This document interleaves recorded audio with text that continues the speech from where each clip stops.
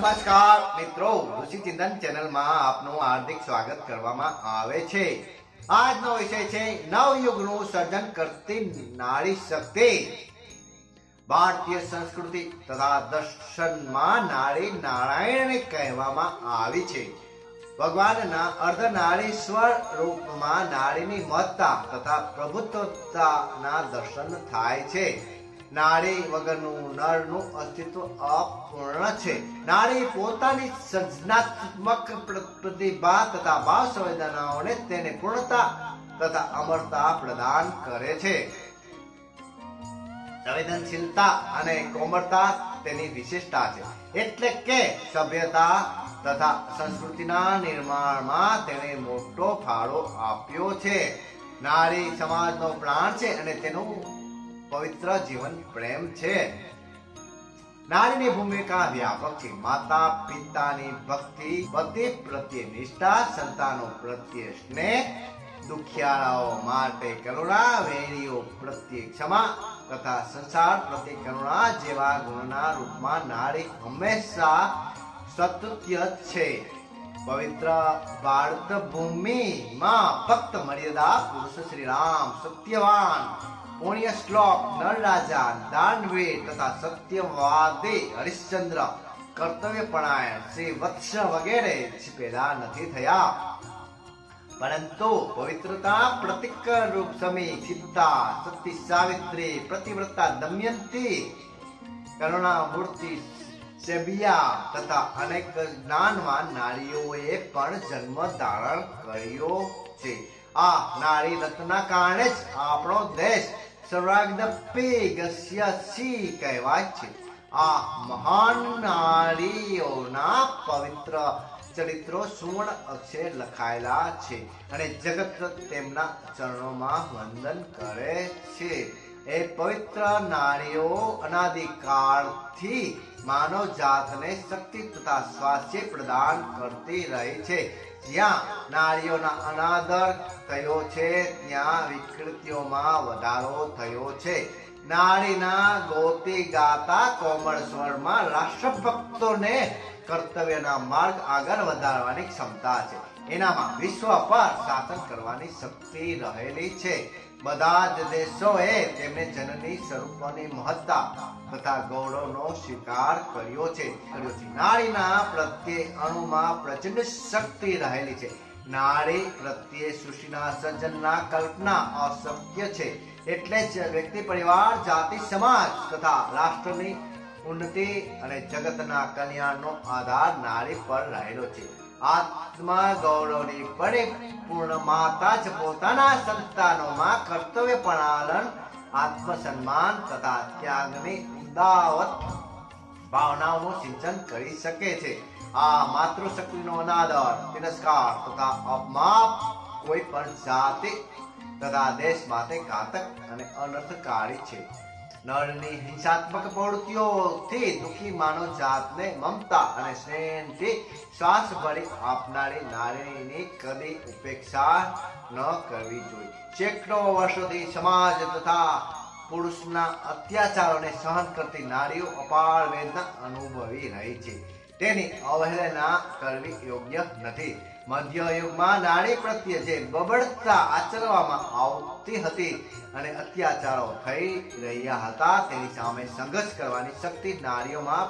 થઈ ગઈ છે. મધ્યયુગમાં તેને ઘરની ચાર દિવાલોમાં જ પૂરી રાખવામાં આવતી હતી. ખોટા આદર્શોના ભારથી તેને દબાવી રાખવામાં આવી હતી.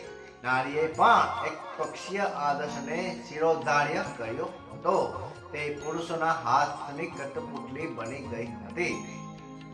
આધુનિક નારીએ આ બધી બેડીઓને ભગાવી દીધી છે. જીવનના વિવિધ ક્ષેત્રોમાં તે પુરુષોને જેમ જ ઉત્કર્ષતા વિકાસ કરી રહી છે.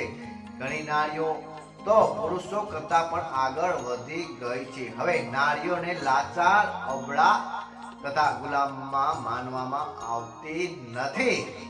તેનામાં સ્વાવલંબન તથા આત્મસન્માનની ભાવનાઓ જાગૃત થઈ ગઈ છે. હવે તેને ભ્રમિત કરી શકાતી નથી. નારીમાં એવી કુદરતી શક્તિ છે કે તે પોતાના ઘરની જવાબદારીઓ નિભાવીને બહારના ક્ષેત્રોમાં પણ કાર્ય કરી શકે છે. ભારતીય સંસ્કૃતિની જનની શ્રદ્ધા તથા સન્માનપૂર્વક બોલાવવામાં આવે છે. નારીને મમતા, સ્નેહ, દયા, વાત્સલ્ય, ત્યાગ અને સહિષ્ણુતા તથા સંયમની સાક્ષાત પ્રતિમા માનવામાં આવે છે. કદાચ જો કોઈ માં તેનો અનાદર કે ઉપેક્ષા થાય તો પણ તે પોતાની માતા તરીકેના ગૌરવને અખંડ રાખી શકે છે. રામાયણમાં માતાના બે રૂપો અવિભક્ત થયા છે. પ્રથમ રૂપમાં તે વાત્સલ્ય મહિમા છે. તે પોતાના પ્રિય પુત્રના આગમન વખતે શુદ્ધ બુદ્ધ ખોઈ બેસે છે અને બીજા રૂપમાં તે પોતાના પુત્રને પ્રેમના મોહને દૂર કરીને પુત્રને કર્તવ્યના કાંટા, માર્ગે આગળ વધારે છે. સત્કાવ્યોમાં નારીની કામિની રૂપમાં અભિવ્યક્ત કરી છે. તો બીજી બાજુ તેને મમ માતાના રૂપમાં પવિત્ર, પાવન અને શ્રેષ્ઠ પણ માની છે. નારીનું માતાનું સ્વરૂપ અપાર સ્નેહથી ભરપૂર છે. કૃષ્ણ કાવ્યમાં માતાના સરળ અને સહજ વાત્સલ્યપૂર્ણ રૂપમાં વર્ણન છે.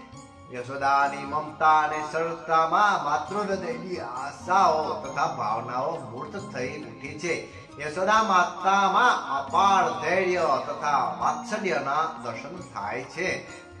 નારીના પ્રતિ પ્રયસી રૂપમાં તેમનામાં અત્યંત પ્રેમ કોમળ કલ્પનાઓ તથા સંવેદનશીલ ભાવનાઓ રહેલી છે.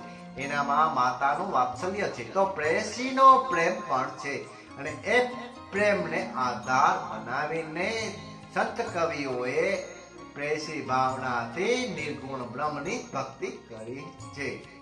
કબીર દાદુ, સુંદરદાસ, ધરતીદાસ વગેરે કવિઓની કવિતામાં અનંત પરમાત્માની પ્રેસ્યો એવા આત્માનો વિરહ, અપાર વેદના અને અખંડ પ્રેમના દર્શન થાય છે.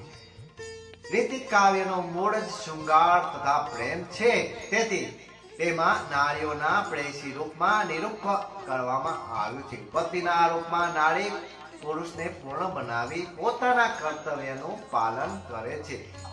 પત્ની ફક્ત વાસના કે વિલાસનું પ્રતીક નથી, પરંતુ તે પતિના સુખ દુઃખનો સહભાગી બને છે.